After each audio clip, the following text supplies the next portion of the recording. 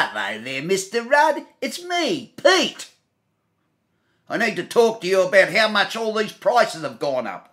I've just had dinner, and I tell you, good food is so expensive these days. I bought the gourmet cat food this time. It still tastes like shit.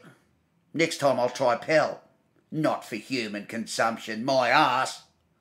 That's what they said about lead paint, and it never did me any harm. Old Petey's not stupid.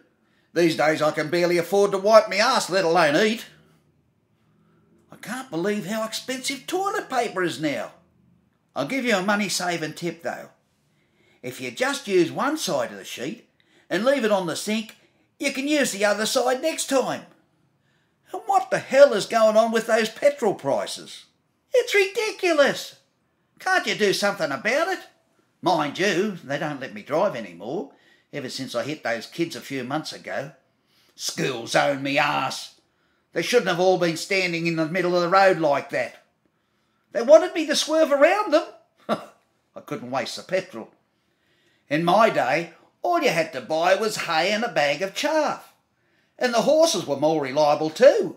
If they gave you cheek, you could just whip them to keep them in line. Last month I tried to whip a taxi driver when he took the wrong turn, and I got banned from the black and white cabs.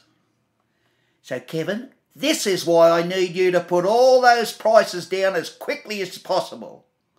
I can't take it any more. They say a smile doesn't cost anything. Ha! That's nonsense. You ever seen me smile? I had to pawn all my teeth during the Great Depression of 1982. Everything costs.